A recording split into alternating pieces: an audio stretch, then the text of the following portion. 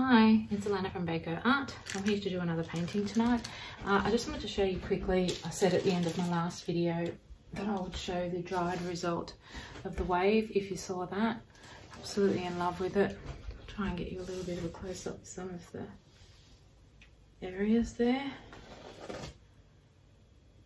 So yeah, really love it. It's not my first, uh, sorry, it is my first wave, but it won't be my last. So I will link that up the top here now if you want to see that one. It was the last video that I did. Okay, so tonight I'm going to do a, my first, I don't even know how you pronounce it, triptych, triptych.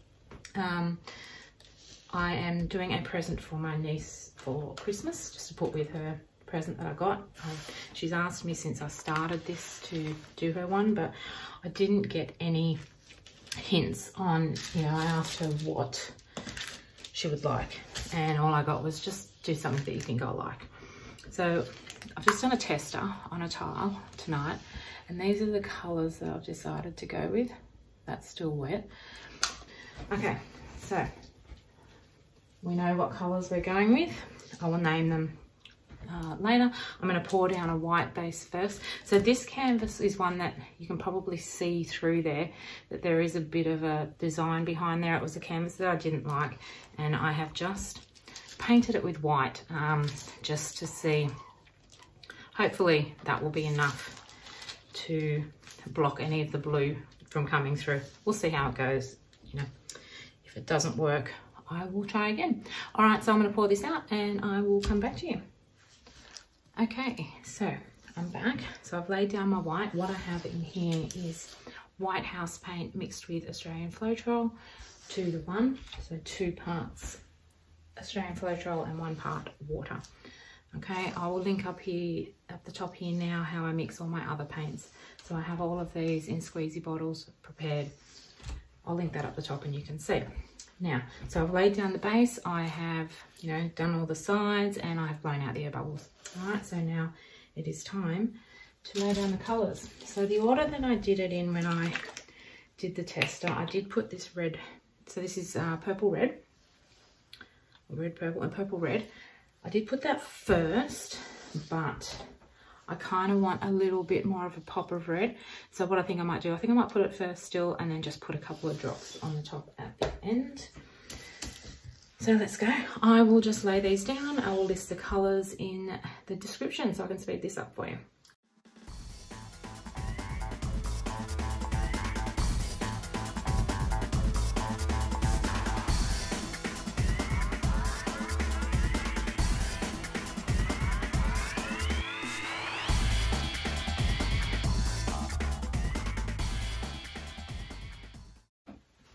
Okay, so I've laid down all the colours that I had. Um, last time I didn't put any white on the top. I might just add a couple of drops of white. I was going to put red again on the top, but as you can see, the red has quite spread out because it took me so long to work out what I wanted to do on this side of the design that the red ended up spreading out. So I think it's going to be enough now. So I'm just going to do a few spots of white just to break up those darker colours a little bit underneath. I ended up, the only thing I did different this time was I just at the end there added a bit of, um, it's a colour I've got here called Metallic Rose. So it's like a metallic dark sort of pink colour. So I just added a little bit of that, which I don't have on the coaster. All right, so I'm not gonna blow the colours over. I'm going to, but I'm going to flood it a little bit around just to give it somewhere to move. So this one I'm probably going to go up that way and come down through the centre. So I want some, some paint here to help it flow a bit and a little bit up that side. This one will come up here more. Now here I'm going to do a little bit that way and a little bit towards the centre. So I'll just put a little bit around. I know I probably always end up using too much paint, but I haven't had a problem with it drying as yet, so I'd rather have more than I need and I can blow it off if I need to. All right, so I've only just poured this. There's already hairs all over it. I'm going to blow out the air bubbles quickly. Now I haven't decided whether I'm going to use the mini blower or the hairdryer. I had some success with the hairdryer on the um, last one I did, that wave, because it was on a bigger canvas, I guess. But these are small, so I'm worried that it's just going to sort of blow them too far away. I might just start with the mini blower and then see how we go. Let's go. I will fast forward through this and put some music over so you don't have to hear the mini blower.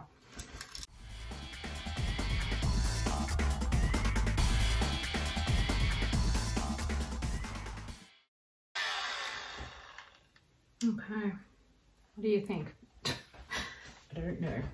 Didn't kind of, let's have a look. Well, it's kind of similar. A little bit different to what I was expecting. Maybe a little bit darker, but um, all right, now I'm just going to fine tune it. Okay, so see here where this sticks out a bit more in the center. I will uh, Hmm. Do I bring them in or do I take that one out? I think maybe push that one out a bit.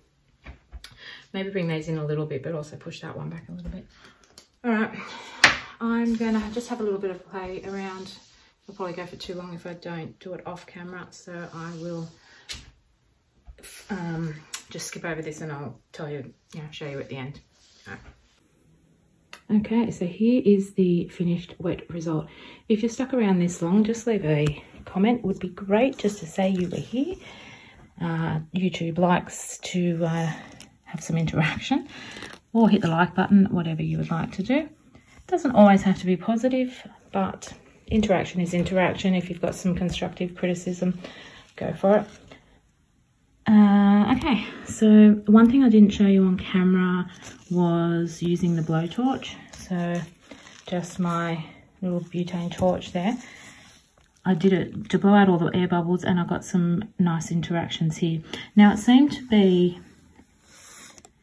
down here, the red purple seemed to interact the most with the torch and create some little cells and lacing everything else kind of just stayed the same. But yeah, see it here, it gave me that little lacing effect there.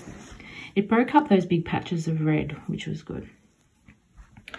So stick around for a second. I'm just going to show you the frame that my son and I made to cover this up with to stop it from getting any dust or insects. Love it. And uh, yeah, we'll see how this one dries. Bye.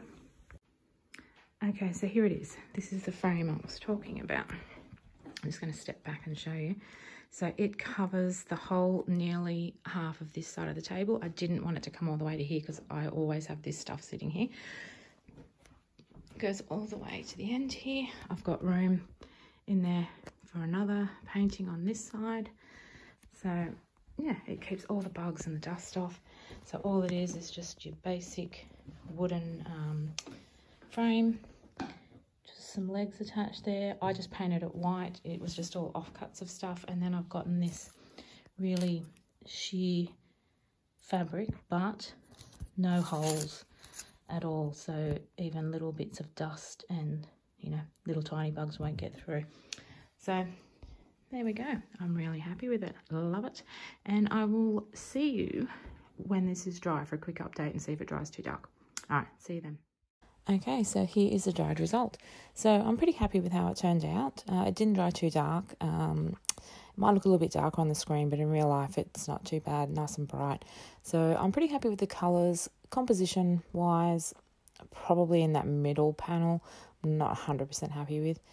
Um, now, I did have a couple of issues on this panel because I believe because it was a one that I'd poured over. So I've got a little chunk there. I'm not really sure what happened there. And then just in this corner some little pock marks. So I'll just fill them in with some paint. Um, all in all, I'm happy with it. It's going to go to my niece for Christmas. She's, you know, very proud of what I've done, so she's going to hang it with pride.